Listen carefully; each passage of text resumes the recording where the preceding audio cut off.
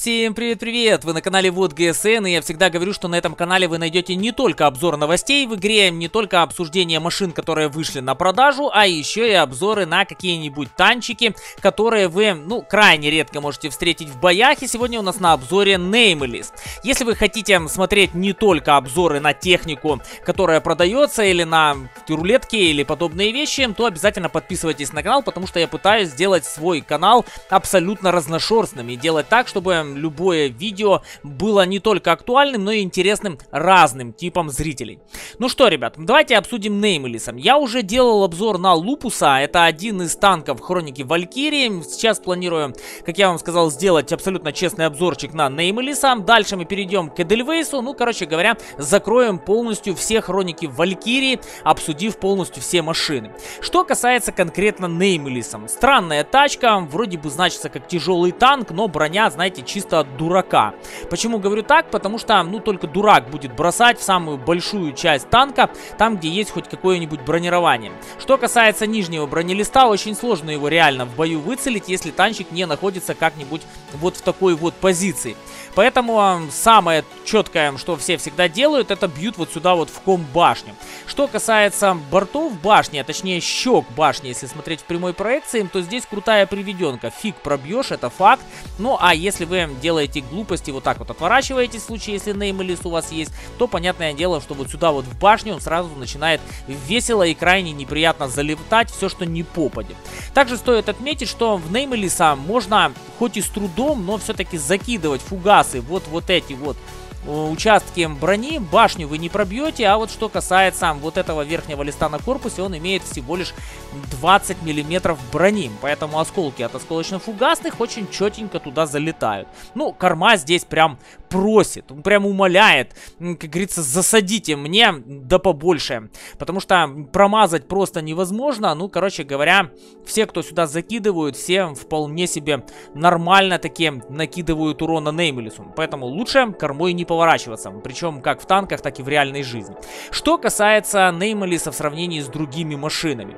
Но здесь, ребят, 2200 э, единиц, которыми особо не похвастаешься на уровне. Что касается пробития, альфы, времени перезарядки. Короче говоря, здесь, в принципе, по орудию особо хвастаться нечем. То есть в чем-то оно лучше, в чем-то хуже, и в чем-то имеет свой баланс, а в чем-то этот баланс абсолютно полностью отсутствует. Но стоит отметить, что действительно неприятен, э, показатель в отношении, во-первых, времени сведения, во-вторых, скорости полета снаряда. Время сведения сейчас обсудим, ну а по скорости полета снаряда вы видите, что 870, ну прям не то чтобы худший показатель, но далеко не самый интересный. И играть на Неймелисе на дальних расстояниях с учетом двух этих э, ТТХ действительно очень сложно.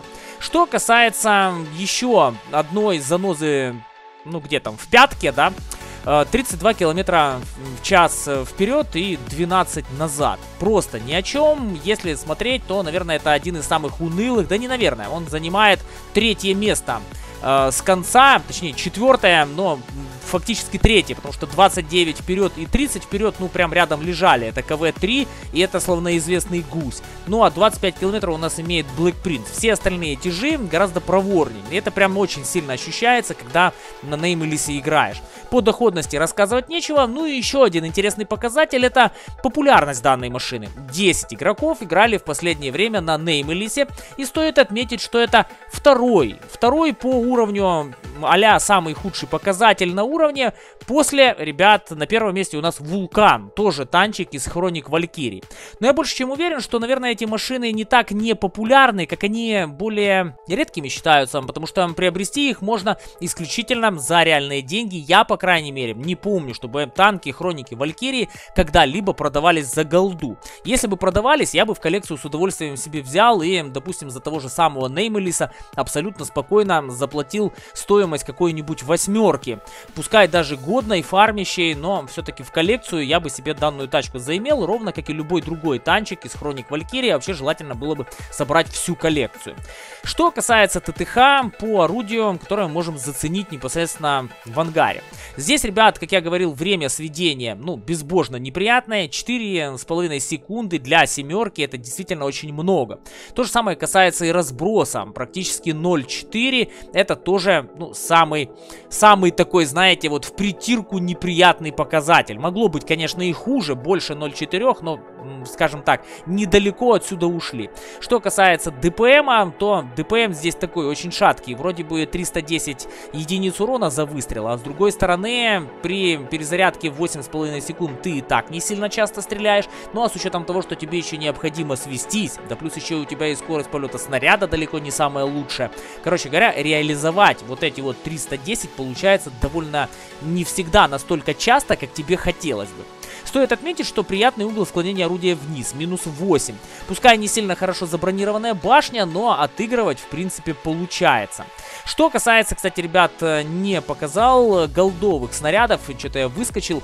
Голдовые снаряды пробивают 220 единиц э, брони по миллиметрам и, соответственно, против восьмерок даже периодически можно где-то как-то отыгрывать. Но ее не хватает полноценно для того, чтобы восьмерок проковырять. А даже если проковыряли, то здесь накидывайте всего лишь 265 единиц урона. Согласитесь, далеко не сильно круто, когда в восьмерку ты закидываешь столь мизерный урон. Что касается осколочно-фугасных, то здесь, в принципе, все нормально. 60 миллиметров по пробитию и 420 миллиметров, 420 миллиметров, говорю, 420 единиц урона, если вы все-таки пробьете на full урон. Но не сильно часто это получается, разве что если вы заброситесь куда-нибудь в бортину или в корму какому-нибудь легкому танку, а желательно еще и ниже по уровню.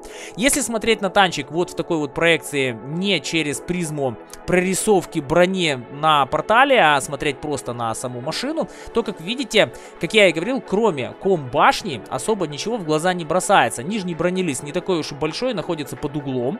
Ну а что касается верхней части, здесь хоть какая-то приведенка есть и дополнительное бронирование, а щеки, ну, прям совсем сходятся, прям к орудию вот сюда вот, там, где есть маска орудия, которая тоже забронирована. Поэтому в основном, когда Неймлиса встречают лицом к лицу, бьют его в ком-башню, это такое, знаете, самое гарантированное место для того, чтобы ему нанести урон, и ком-башня, в принципе, я бы не сказал, что является маленькой. Ну что, берем машину и поехали, попытаемся Неймлиса потестить. Ну что, поехали. Давайте попытаемся сделать на Неймелисе что-то годное. Но в целом, ребят, э, забегая наперед, скажу следующее. Ни один из танков Хроник Валькирии не приобретается игроками для того, чтобы на нем фармить, ну я не знаю, там, стату держать. Эти танки абсолютно не про результативность. Эти танки исключительно про, э, я бы сказал так, штучность. Штучность этих танков э, в боях э, крайне редко встретишь их. Заехать, покрасоваться, почувствовать себя не таким, как все. Не тем, кто играет на общедоступных обычных премиумных машинах, либо на коллекционках, а играет на чем-то таком, ну, что может позволить себе далеко не каждый игрок у нас в игре. Поэтому не рассчитываю на какие-то там особые заработки на нейм или на какой-то настрел. Рассчитываю исключительно на то, что мне понравится на нем играть. В целом, что-то в машине, безусловно, есть, но сказать, что прям действительно фанит, ну, не знаю, навряд ли. Повторюсь, наверное, фанит сам факт того, что ты играешь на чем-то уникальном, не более того. Так, ну вот оно, время сведения просто безбожно долгое. Но хотя бы урон 310 уже хорошо. Что касается того, что дальше будет происходить, я очень сильно надеюсь, что ПТХ сейчас никакая там на горе не стоит, потому что в Бортину мне сейчас прилетит прям таки на ура. Вау! Без полного сведения даже получилось забросить. Это приятно. Все.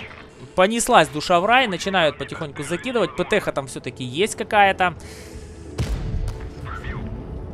Так, отходим, отходим, отходим. Добрали. Красавчик, молодец. СТРВТ действительно неплохо сейчас поддержал. Так, ну что, давайте попытаемся забрать экранированного, если это получится, конечно. Спрятался. Понял, что навряд ли у него получится выстоять нормально. Фарт.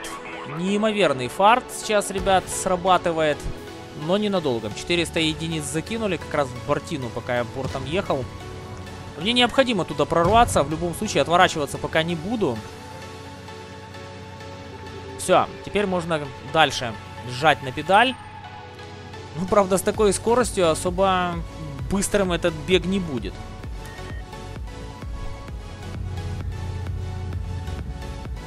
Так. Блин, ну сводись ты быстрее. Ну хотя бы чуть-чуть быстрее сводись. Так.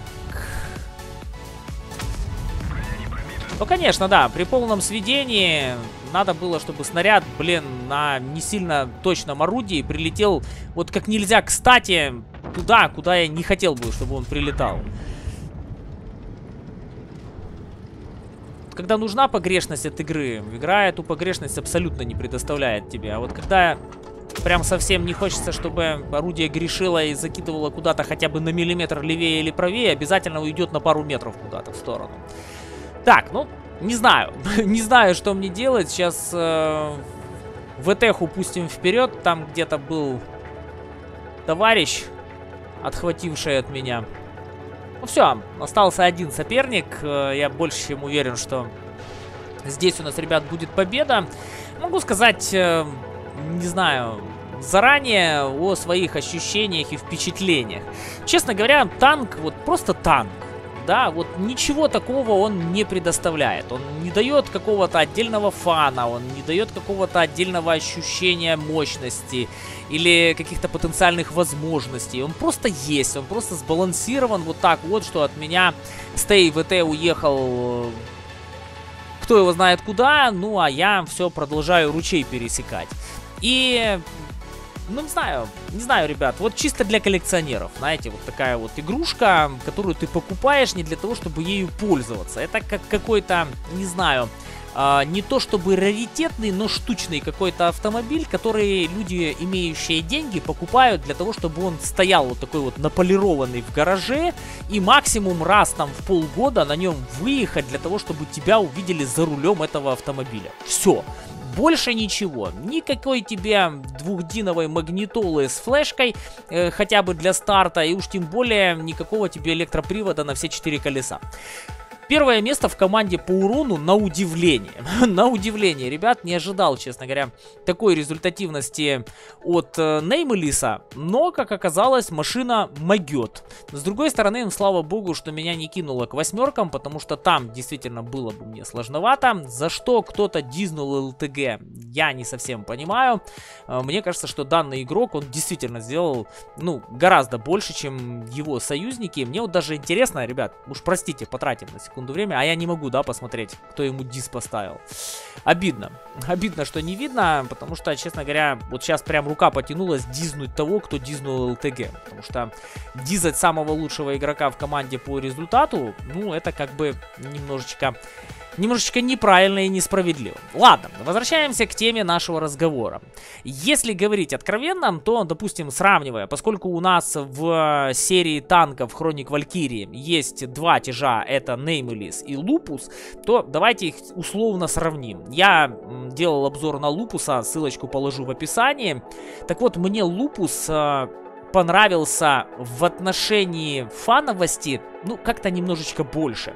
А что касается Неймелиса, кстати, вот здесь я лоханулся, у нас еще Вулкан есть, забылся про него совсем, но Вулкана мы снимем отдельный обзорчик, это совсем другая история.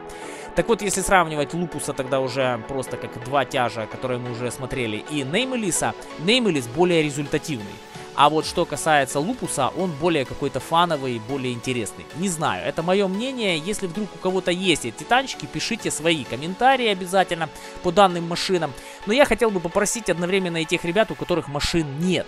Если вы хотите написать, что они плохие, ну, воздержитесь, потому что вы не совсем имеете моральное право судить о качестве данных машин, исключительно исходя из того, что вы где-то видели обзоры на них, или вы где-то видели в боях эти машины. Не факт, что против вас или за вас на этих машинах играл действительно какой-нибудь грамотный подкованный танкист, который смог в конкретном бою машину реализовать. Поэтому, возможно, у вас сложилось какое-то не совсем правильное мнение. Я побежал снимать специально для вас следующее видео, возможно про вулкана, возможно про кого-нибудь другого. Ну а вы, друзья мои, если хотите видеть не только обзоры на то, что прямо сейчас происходит в игре, то подписывайтесь на канал и ставьте лайк данному видео. Мира вам, друзья мои, и обязательно спокойствия. Пока-пока.